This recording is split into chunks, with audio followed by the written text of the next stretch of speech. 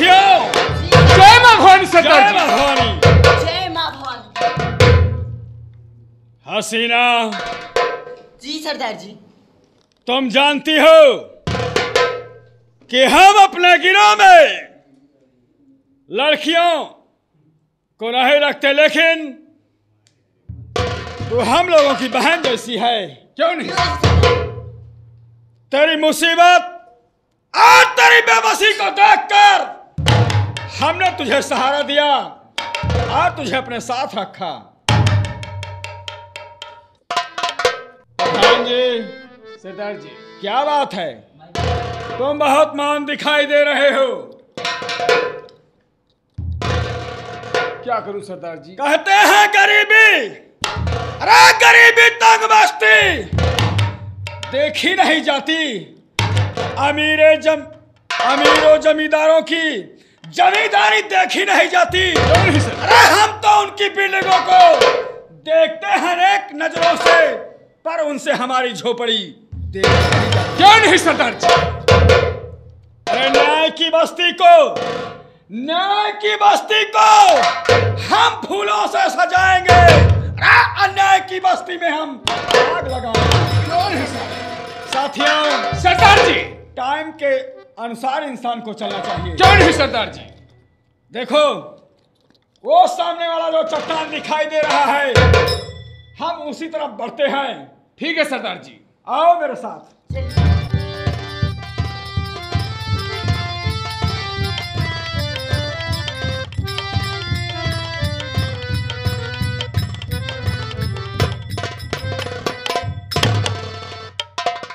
ये गज़ल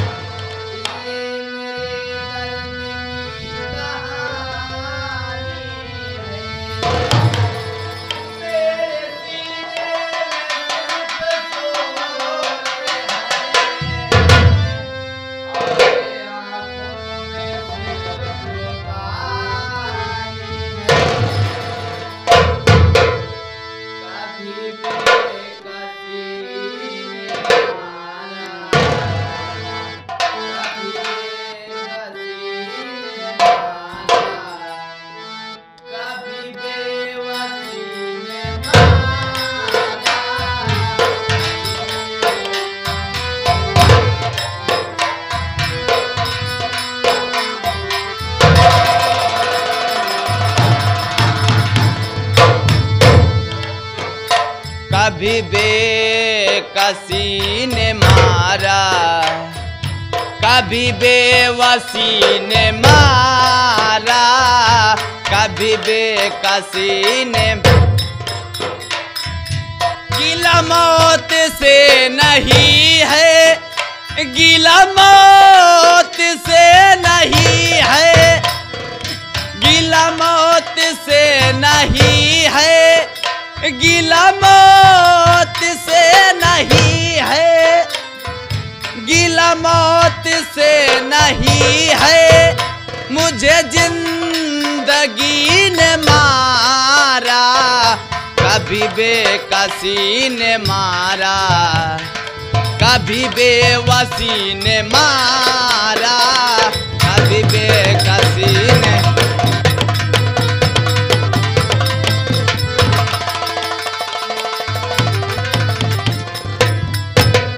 मुकद्दर पर किसी का ज़ोर चलता है नहीं। ये जो मौसम है, जो कभी बदलता है नहीं। यही थी मेरी गरीबी, यही थी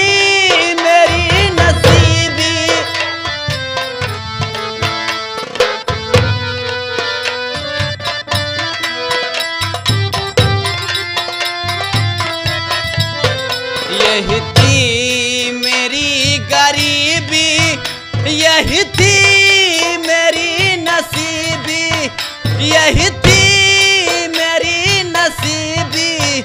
किस किस का नाम लूँ मैं? किस किस का नाम लूँ मैं? मुझे हर किसी ने मारा।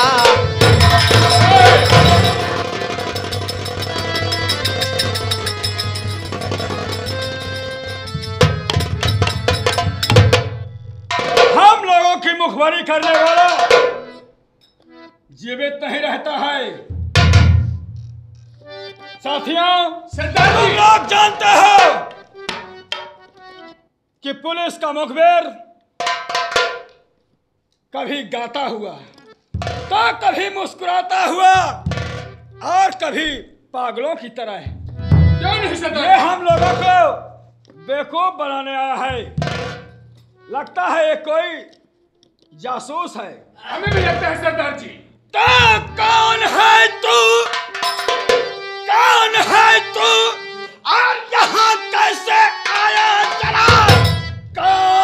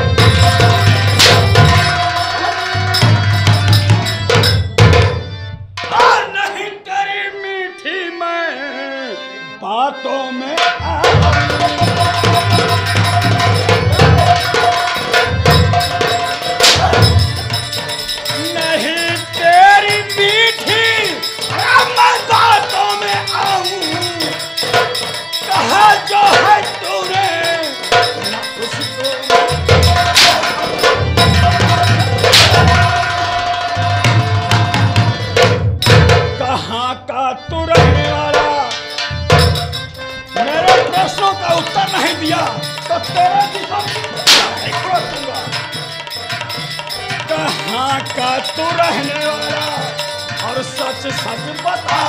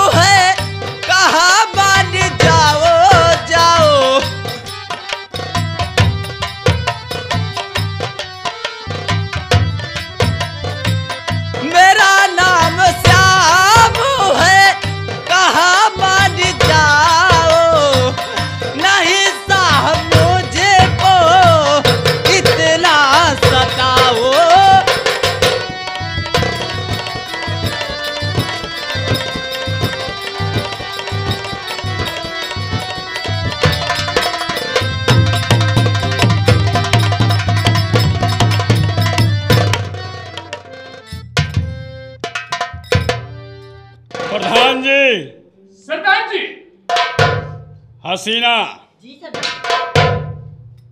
इसने कहा कि हमारा नाम श्यामू है। लेकिन मुझे विश्वास नहीं हो रहा है। इसलिए पहले इसकी तलाशी लो। ठीक है सरदार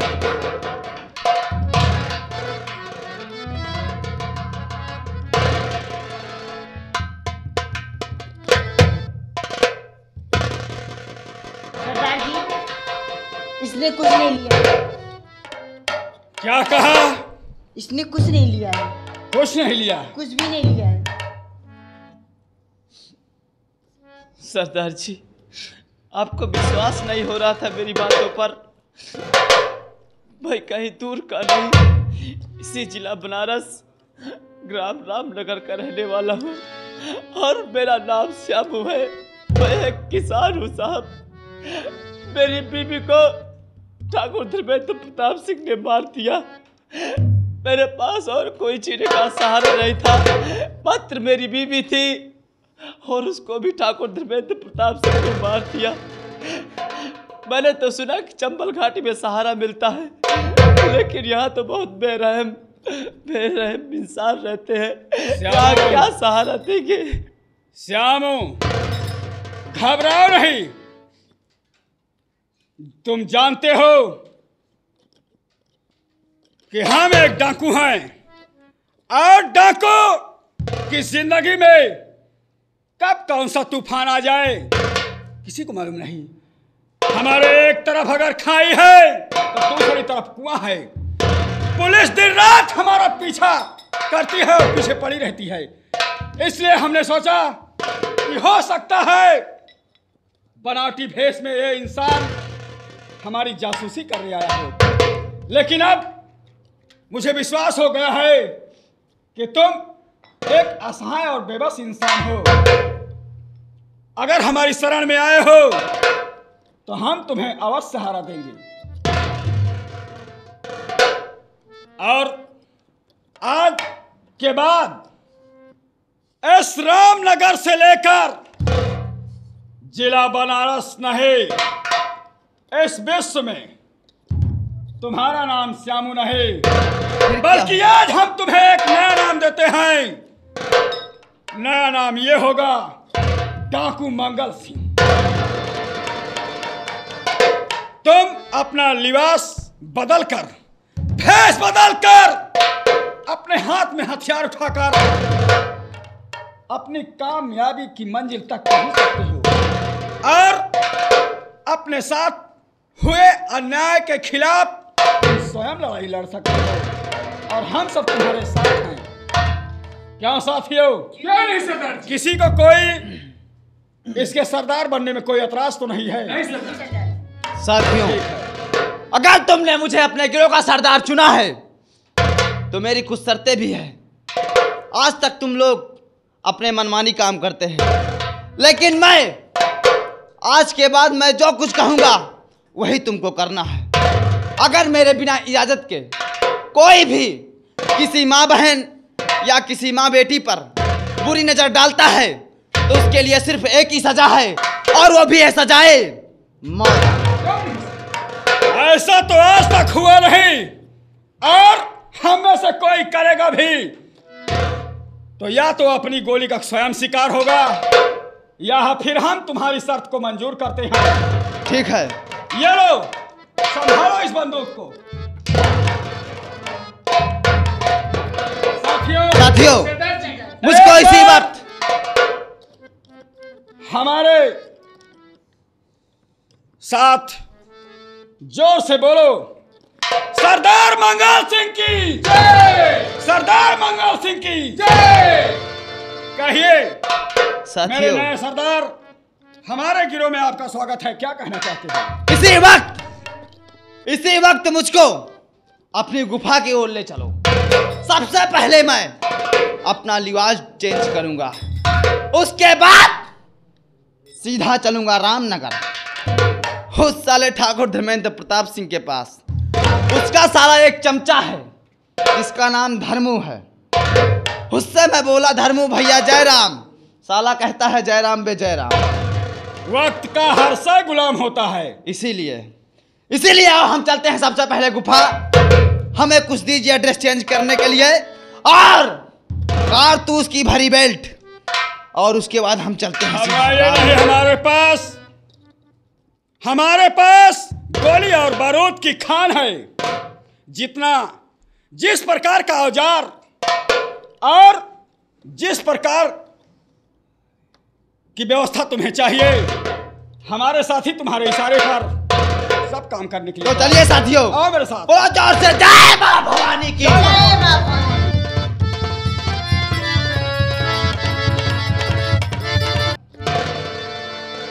अरे अब के सावन में हो अपने मेहरुआ कहत है कि अब की सावन तो का नैहरे न जाए देव। हर साल चलो जा चली हूँ लेकिन अब की तो का न जाए दे अब की घरे में सावन दोनों प्राणी मनाए हुए।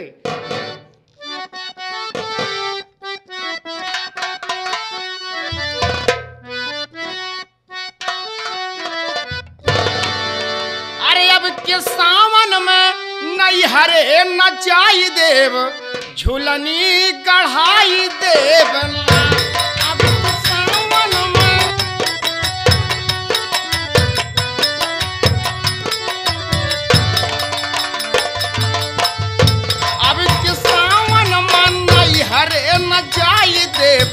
झूलनी गढ़ाई देव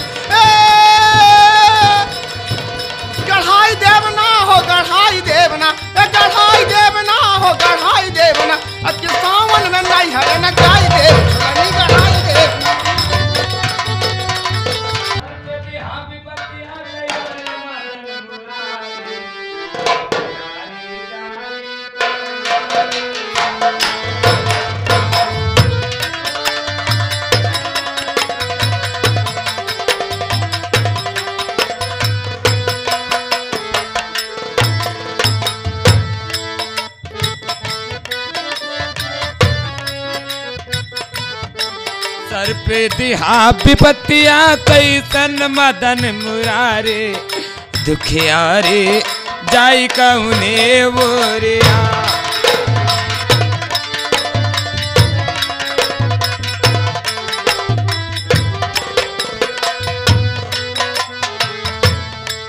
जाई कौने बोरिया, जाई कौने बोरिया।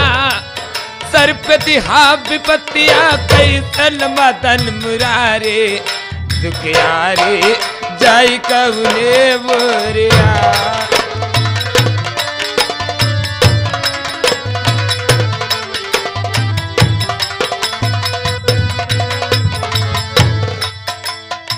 मदन मुरारी, हमरे ऊपरा तन को रगम न खाए। मदन मुरारी हमरे ऊपरा तन को रखम न खाए। बन के पूरे बेदर दी बिदना या मेरे मालिक, बन के पूरे बेदर दी बिदना ऐतर गज गिराए, अब तो तुझे ना कि हम का कौनो डगरिया। दुखियारी चाई कौने?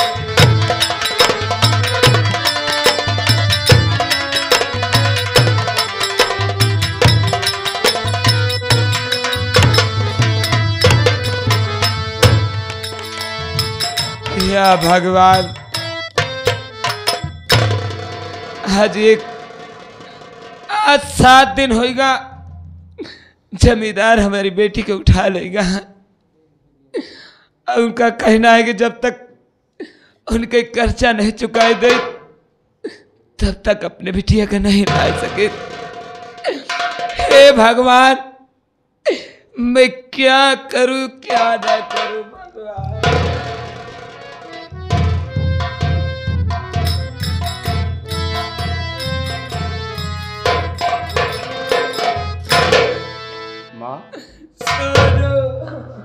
माँ, तुम रो रही हो। रो नहीं माँ। माँ। न रो रो कर मैया।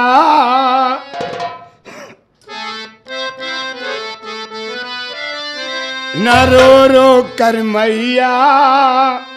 करो दिल दुखारी। कहा मान जाओ हे मैया हमारी।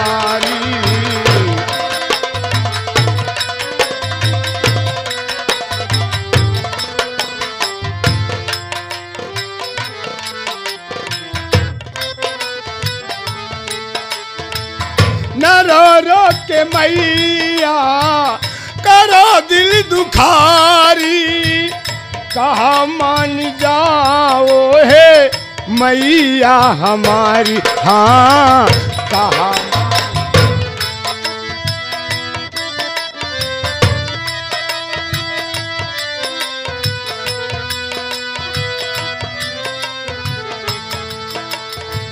रकम मैं हूँ लाया फिकर दिल की छोड़ो।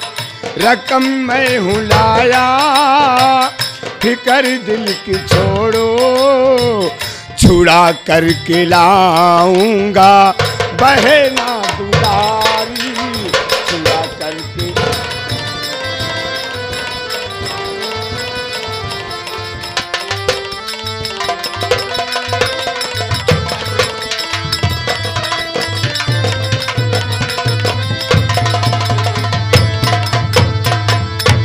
माँ?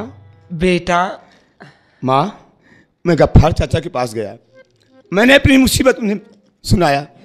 वो तुरंत दया खाकर मुझे पाँच हज़ार रुपये जमा और कहा बेटा ये पाँच हज़ार रुपये ले जाकर उस जमींदार के मुँह पर फेंक दो। और अपनी बहन को छुड़ा लाओ। वो इंसान नहीं भगवान है माँ। बेटा। बोल माँ। बहुत खुश हुई मैं। तेरी बात सुन करी ये लाया रकम जो मुसीबत उठा कर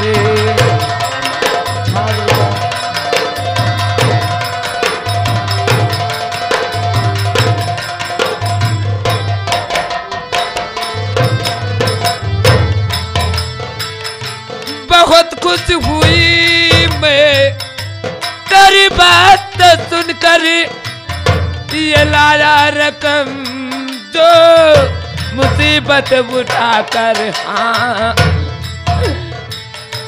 चल साथ मेरे, अभी चल रही हूँ।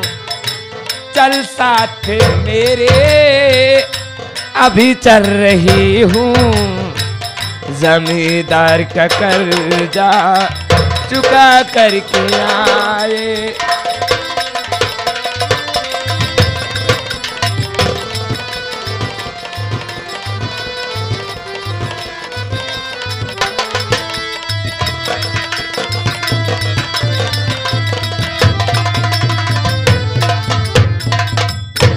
बेटा माँ।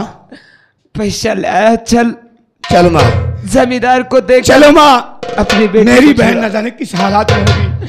आ माँ इसी वक्त।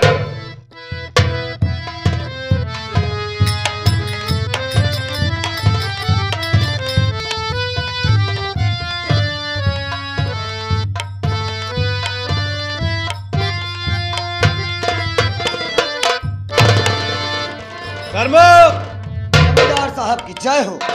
देखो आज सरला का हुए दस दिन हो गए। जय मालिक ना ही उसका भाई आया और ना ही उसकी माँ आई आज तुम एक काम करो पाँच सौ रुपए के कितने रुपए बनते हैं एक हिसाब बनाओ। मालिक आप बैठिए।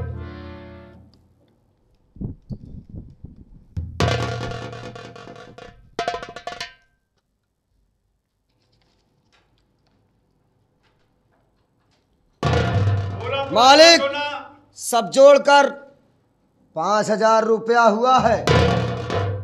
देखना कहीं कोई भूल तो नहीं हुई है? देख रहा हूँ मालिक फिर से। सही सही जोड़ लिया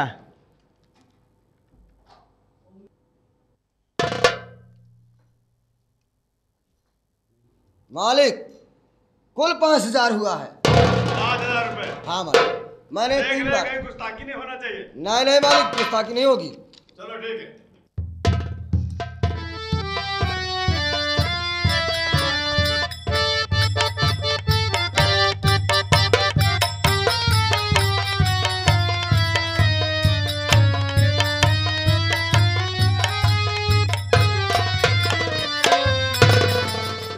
मालिक। हम आपके कर्जा दे आए हैं मालिक। कर्जा देने आए हो कोई एहसान करने नहीं आए हो। चली आए हो मालिक के सर पर खड़ी होके मालिक में कर्जे देने आए हो। हराम चादी दौर से बात करो। ए, चुप। फालतू नहीं बोलने का। पैसा लेना है ना? हाँ मुझे पैसा चाहिए पैसा। कितना, कितना पैसा हुआ आपका? पाँच हज़ार रुपया हुआ है। मालिक बता दिए।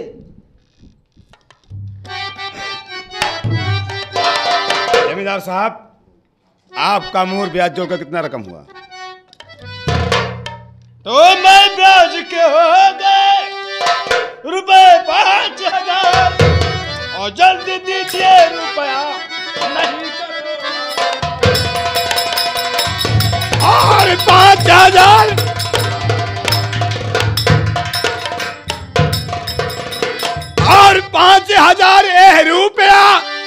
और पकड़ो इसे संभाल।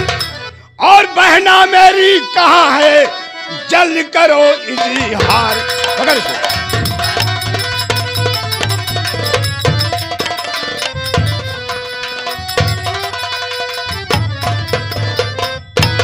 पूरे पाँच हज़ार रुपये हैं।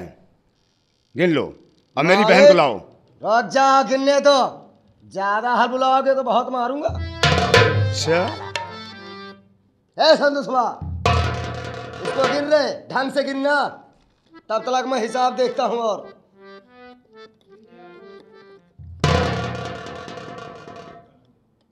एक दो तीन चार पाँच भैया बोलो। पाँच पूरे हैं। लाओ इसे। साला सही ढंग से नहीं पैसा लगाता। मालिक गुस्ताखिया क्षमा हो। मैंने गुस्ताखिया क्षमा हो। क्या हुआ? मैंने दस दिन का ब्याज जोड़ने को भूल गया मालिक। तो ये दस दिन का बाद ये दस दिन का बाद क्या तेरे बाप देगा बे मालिक मुझमें नहीं कमी है। हैं? ये सारी कमी मेरे आयना की है। कहा ना तो जाए निहारी गाड़ू? माटी देवरू अब तक थे पाँच हज़ार अब तीन दिन के ब्याज है। अरे तोरे मुहे में बड़े बड़े किरवा पड़ गए जो ना गाड़ू। इनके मुँह में कीड़ा पड़े। तो हम खोद खोद निकाल ले। शांति। देख गलती सबसे हुआ करती है। माना कि इस चश्मे की वजह से ये दस दिन का ब्याज नहीं जोड़ पाया। ठीक है कितना हुआ? मालिक बता रहा हूँ। मालिक दस दिन का ब्याज तीन सौ तैतालीस रुपया निन्यानवे पैसा हुआ है मालिक। ठीक है सोनो। तीन सौ रुपए की बात रही। तीन सौ रुपए और दे दो। और शौक से अपनी बहन को ले जाओ। चालीस रुपया निन्यानवे पैसा कहाँ से आएगा? नहीं देखा जमींदार साहब आपके कहने के मुताबिक मैंने अपनी पूरी रकम दे दिया। और रही बात तीन सौ की ना मैं तुम्हें तीन रुपये भी नहीं दूँगा। तीन रुपये भी नहीं दूँगा। क्या? तीन रुपये भी नहीं दूँगा। क्यों? तुम्हारा नौकर बोला कि पाँच हज़ार रुपये हुआ। और तीन सौ रुपये आप दोबारा मांग रहे हैं। नहीं। गलती सबसे हुआ करती है। माना कि नौकर से गलती हो गई।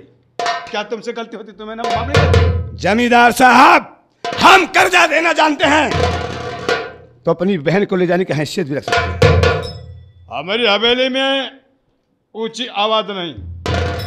क्योंकि ऊँची आवाज़ सुनना मेरे कान आती नहीं। जमींदार साहब तो मेरी बात भी कान खोल कर सुन लो। हाँ बताओ। और कौन रोके?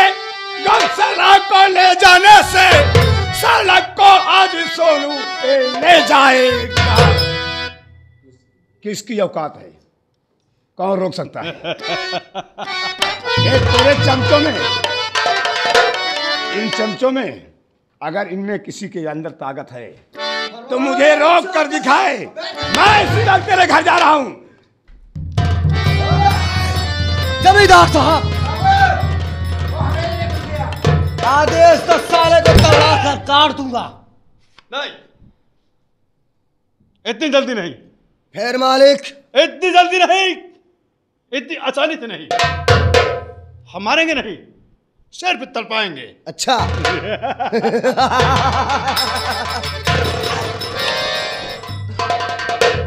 शांति। चल रहे शांति को शांत करो जल्दी मालिक मालिक। शांति! मालिक। तेरा नाम शांति है।